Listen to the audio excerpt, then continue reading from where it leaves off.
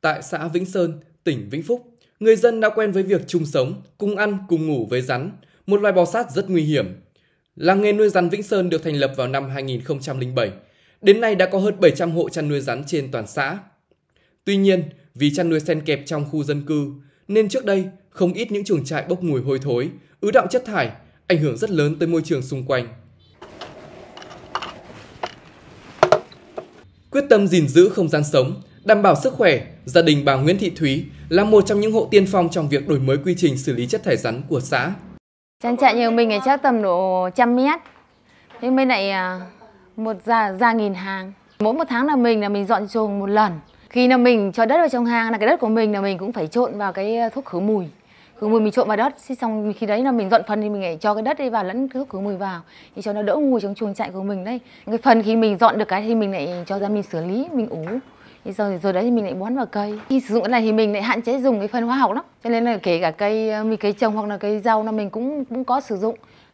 Hàng tháng bà Thúy đều phun khử trùng đều đặn bằng chế phẩm sinh học IEM đồng thời cũng áp dụng các thiết bị như quạt gió lắp đặt cửa làm mát giúp không khí trong chuồng trại luôn được lưu thông. Cái môi trường của mình là thấy nó tranh trong lành hơn. Mà mà trước kia là chưa có thì nói chung là xung quanh người ta cũng cũng có kêu đấy. Thế nhưng mà cách đây lâu lâu rồi là biết sử dụng cái đấy thì còn là hàng xóm người ta là không ai nói gì cả. Mà ngay bản thân gia đình nhà mình lại thế.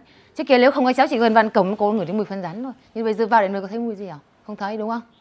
Bên cạnh việc thay đổi mô hình xử lý chất thải các hộ dân nuôi rắn còn tận dụng tối đa nguồn thức ăn chăn nuôi từ gia cầm con bị bỏ đi. Vừa tối giảm chi phí vừa hạn chế tối đa lượng xác gia cầm thải ra môi trường.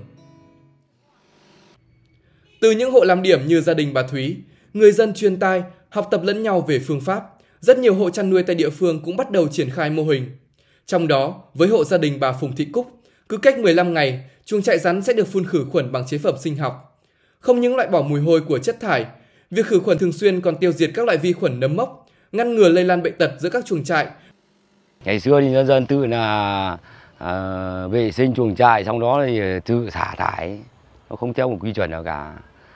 Đến bây giờ thì à, khi mà có cái làng nghề hai nữa là được sự giúp đỡ của các nhà khoa học cũng như là à, các cơ quan nhà nước có thẩm quyền thế mà thành lập cái hiệp hội làng nghề thì bắt đầu tuyên truyền mở cái lớp tổ huấn về xử lý cái cái cái cái rác thải này Mặc dù đã cố gắng và có nhiều giải pháp trong quá trình xanh sạch hóa trường trại chăn nuôi, vấn đề môi trường ở xã Vĩnh Sơn vẫn chưa được giải quyết triệt để.